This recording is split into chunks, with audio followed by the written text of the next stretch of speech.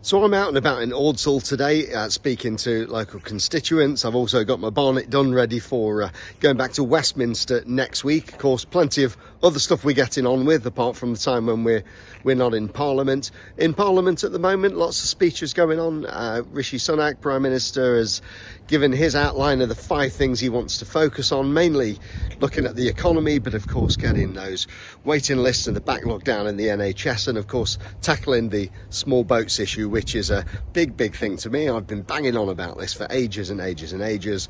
Locally in Ordsall, of course, a lot of people concerned about developments that are there in the plan.